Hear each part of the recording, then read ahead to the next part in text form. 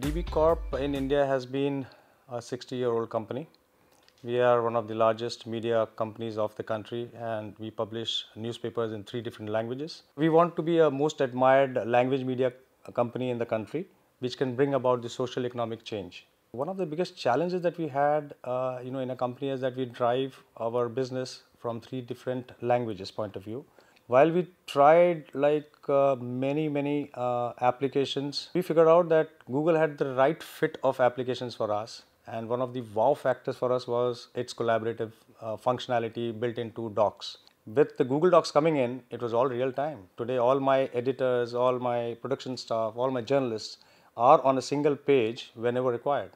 So that's actually given us a humongous amount of uh, you know time for us to actually do things on the right right in time we started our journey with Google Suite, and that actually brought in us a lot of confidence on Google that yes, uh, it actually not helps us in doing our own job, but it is also helping us actually move forward and take newer products and newer properties within our fold.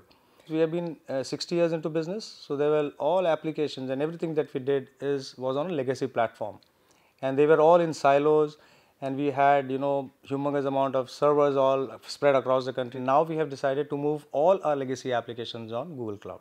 So we are through with it. We're like 80% of the applications all on GCP now. Google always had a face.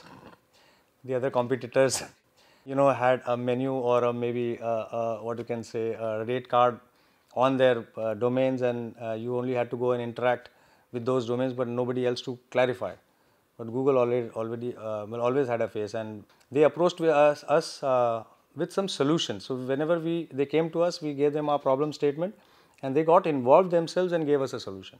Print is uh, you know a sunset industry today, so there's a lot of talk going on that you know once the print dies and what happens to the newspaper company. So newspaper has actually we, we say that we don't sell the paper, we actually sell the information and just in time.